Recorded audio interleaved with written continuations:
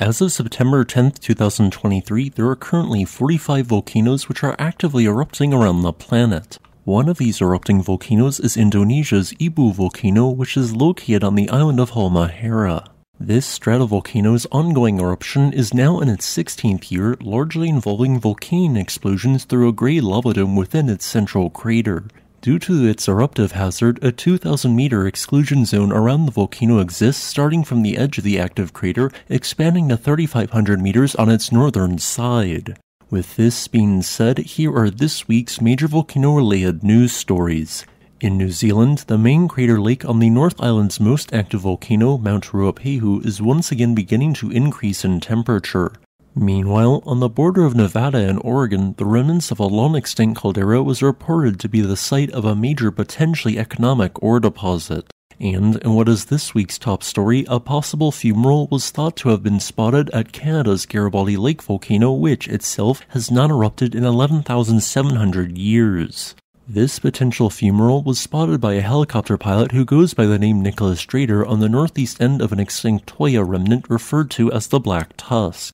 In this clip, you can spot what appears to be volcanic gases rising from the ground to a height of 30 to 50 meters, being located right above a yellow patch of ground which appears to contain native sulfur or some form of sulfide mineralization. If confirmed, this was a potentially major discovery, as if there was a fumarole, it would be undeniable proof that some form of a magma chamber existed somewhere at probably several kilometers depth beneath this 148 square kilometer volcanic field. As a result, I emailed around to the various authorities in Canada and another helicopter pilot was sent out to investigate. However, he found no evidence of the fumarole spot on 9:23 a.m. on September 2, 2023, meaning that what was spotted was not actually a fumarole and was instead a false alarm as instead what was spotted was actually strong winds blowing up a steep slope in a specific location, gaining speed due to the Bernoulli effect and sending small particles of rock into the air, making it look like gas. This means, to the best of my current knowledge, we do not have concrete proof of an active magma chamber existing beneath this volcanic field. Meanwhile, in New Zealand, the temperature of the Ruapehu volcano's main highly acidic crater lake has once again begun to increase, meaning a heating cycle is underway.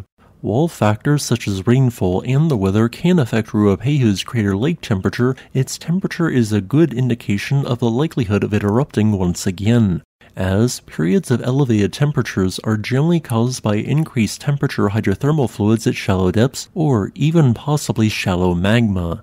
These periods of heightened activity generally occur alongside a high rate of volcanotectonic earthquakes and even sometimes volcanic tremor. Whereas on July 12th, the lake had a temperature of only 11 degrees Celsius, by September 2nd, it had increased to 26 degrees Celsius. While this is quite an increase, I believe that the weather is largely to blame for this change, as July is traditionally New Zealand's coldest month since it represents the peak of winter in the southern hemisphere and a temperature in of itself of 26 degrees Celsius is quite average for the crater lake, as although a volcanic eruption can technically occur at any temperature, they generally occur when it is above 45 degrees Celsius, although even this is not a guarantee that an eruption will occur. As our final story, the world's largest lithium deposit was claimed to have been found within the oldest caldera of the Yellowstone hotspot track, with the specific caldera being long extinct. Known as the McDermitt caldera, this 46 mile long rhyolitic caldera erupted 960 cubic kilometers of tephra in a super eruption 16.4 million years ago. While it had previously been mined on a small scale for uranium, interest recently peaked as rock samples with high grades of lithium were found. These did not appear to be outliers, and soon large quantities of lithium enriched illite were found within the caldera, with the lithium likely having been originally deposited by hydrothermal fluids heated by ancient magma millions of years ago. This deposit has been estimated by a few individuals as containing 20 million metric tons of lithium, making it the planet's largest single lithium deposit. Here is a quick list of all the world's volcanoes which are currently erupting. Additionally, here are some volcanoes showing signs of unrest which are not erupting as of the recording of this video on September 10th of 2023. As a final note, I would like to thank this channel's patrons on Patreon and channel members on YouTube.